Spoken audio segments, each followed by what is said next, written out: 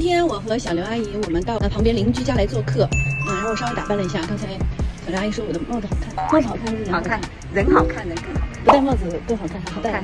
不戴帽子好看。来做客嘛，我们还是要带点那个吃的，也准备露一手。呃，弄个比较快的安睡茶，还有一个鸡翅膀的啊。他说他们家那个厨房已经很专业了，那不一定啊，我来看一下。到啦，叮叮叮叮，完了，我们还以为我们专业，自己带着点烤箱来。我邻居说他们家厨房专业的，我没想到这么专业，太厉害了吧？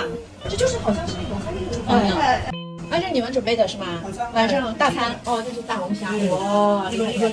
好了好了，哎呀，吃这么多睡不着，好？了，我准备在这儿露一手，人家都是那个专业厨师啊。然后我今天就带的就是大家吃完饭以后想要睡个好觉，那这个就是喝了就比较容易睡觉，睡得比较香。你们也学一下，让人家专业厨师。大厨他煮不来睡眠茶。对对对，大厨不会做睡眠茶，我来，我就直接拿这个葫芦装进来就可以了幸好我带了这个壶，这么专业的厨房也没有这个。这个就是桑葚、当归的，拉一把。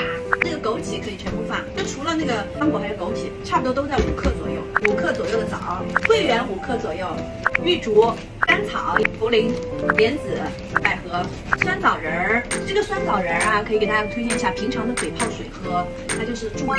你们觉得看我这样子，应该是属于那种不操心的人吧？但是太操心了，我现在就觉得好像呃没了我就家里面就就转不动了。但是我有两天去工作去了，真的挺开心的。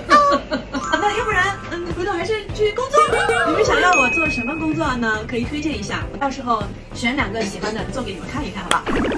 好，全部放进去啊，煮三十分钟。如果有条件的话，这个泡上一个小时，然后再煮三十分钟，效果更好。好，这个就放水放进去了。噔噔噔噔，好啦，已经煮好喽。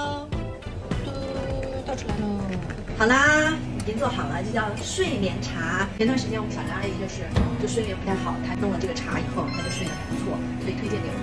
我们要隆重的感谢我们的小刘阿姨，敬你一杯。哇，那酸枣的味道。